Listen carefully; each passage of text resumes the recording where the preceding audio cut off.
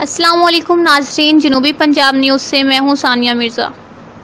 खबर शामिल करते हैं बुरा वाला से। तफसील जानते हैं जनूबी पंजाब न्यूज़ के नुमाइंदे मोहसिन अली से। जी मोहसिन। जी, सानिया, बिल्कुल Burewala inspector Nasir circle incharge traffic police Burewala ने कहा है कि डीएसपी ट्रैफ़िक वसीम एजाज की हदायत पर ट्रैफ़िक कवानीन की खिलाफ वर्जी करने वालों के खिलाफ कार्रवाई बिला तफरीक जारी है और रवा माह में ट्रैफ़िक कवानीन की खिलाफ वर्जी करने वालों के 200 चलान किए गए हैं। जबकि 16 मुकदमा दर्ज किए गए हैं।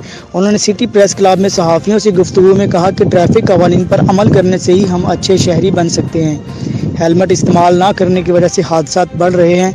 शाहरा पर जितने भी हादसा होते हैं, उनमें सबसे ज़्यादा शर्रा मोटरसाइकिल सवारों की है।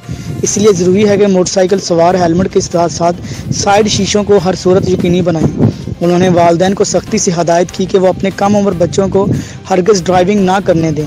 क्योंकि इन अवामल की खिलाफ वर्जी से ही रोड हादसा में इजाफा हुआ है और कई कीमती जानें ज़ाया हो चुकी हैं। उन्होंने कहा कि ट्रैफ़िक कवानीन की पाबंदी महफूज सफ़र की ज़मानत और महजब कौम की पहचान है। उन्होंने कहा कि हैवी ट्रैफ़िक के लिए मुकर रफ्तार 30 किलोमीटर फ़ी घंटा और आम ट्रैफ़िक के लिए मुकर रफ्तार 40 किलोमीटर फ़ी घंटा है। हद रफ्तार से तजावज़ भी हादसा का सबब है, इसलिए मुकर रफ्तार से हरगत तजावज़ ना करें। कैमरामैन टीम के साथ मोहसन अली, जनूबी पंजाब न्यूज़, बुरेवाला। मज़ीद वीडियोस के लिए देखते रहिए जनूबी पंजाब न्यूज़। सब्सक्राइब कीजिए हमारे चैनल को और बेल आइकन को दबाइए हमारी लेटेस्ट वीडियो सबसे पहले देखने के लिए।